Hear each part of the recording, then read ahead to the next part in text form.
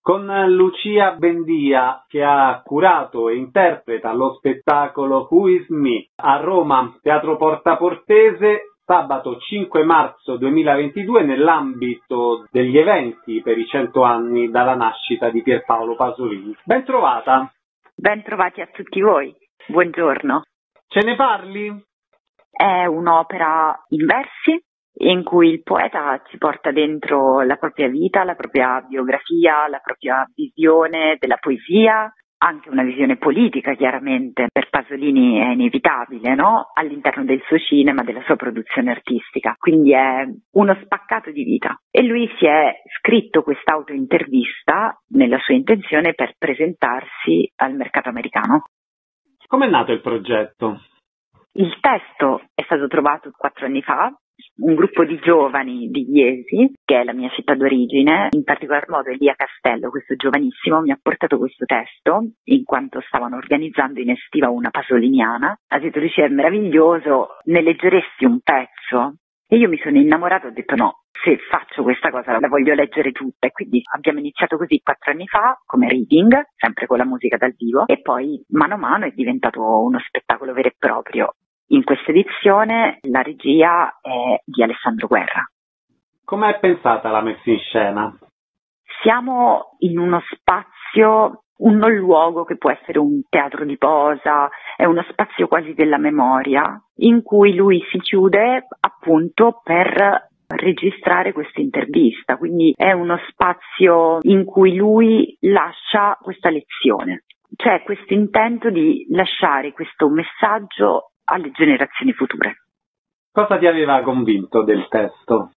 La cosa più forte eh, che mi ha toccato molto è questa proprio condizione di narrazione del sé profondo dell'artista, in cui c'è sempre qualcosa di ineffabile, che dichiara anche a un certo punto proprio l'impossibilità della parola, intesa anche come parola poetica, di rappresentare, di evocare e per questo ci porta dicendo io vorrei essere musica. E questa cosa credo che sia la condizione più forte no? che un artista può provare in vita, cioè quello di essere talmente vicino al sublime da non poterlo rappresentare attraverso la parola. Credo che questo sia un messaggio fortissimo e questa cosa mi ha fatto veramente innamorare di questi versi e, e di questo testo.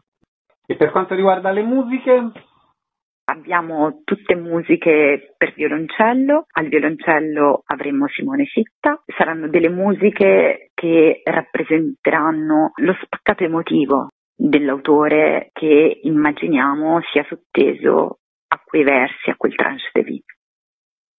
Si inserisce lo spettacolo in questa due giorni al Teatro di Porta Portese per il centenario sì. della nascita. Come è arrivato questo appuntamento? Con grande sorpresa siamo stati contattati appunto dal teatro e siamo molto felici di questa cosa, no? Perché proprio oggi, in questo momento storico, no? A cavallo tra una pandemia e una guerra, anche se fa spavento, no? Pronunciare queste parole, poter rendere omaggio in un centenario a un autore così vivo e così ipercontemporaneo è un dono immenso.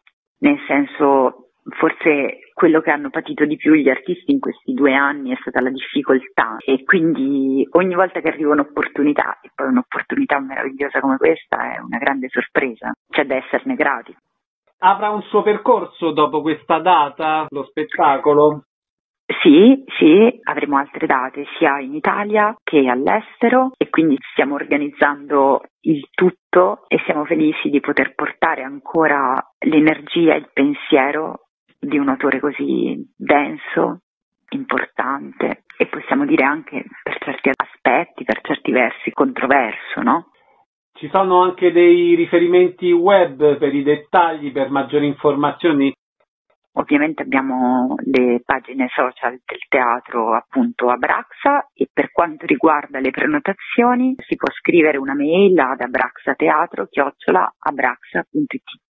Lo spettacolo Who is Me a Roma al Teatro Porta Portese sabato 5 marzo 2022 nell'ambito della due giorni di eventi per il centenario dalla nascita di Pierpaolo Pasolini. Un saluto e un ringraziamento a Lucia Bendia che è curato e interpreta lo spettacolo. A presto! A prestissimo e grazie e buona giornata a tutti.